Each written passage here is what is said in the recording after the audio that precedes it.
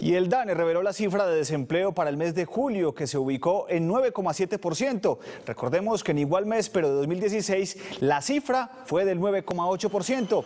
Para este año, el número de personas ocupadas fue de 22 mil personas y significa, según el DANE, que 373 ciudadanos consiguieron empleo en el séptimo mes del año.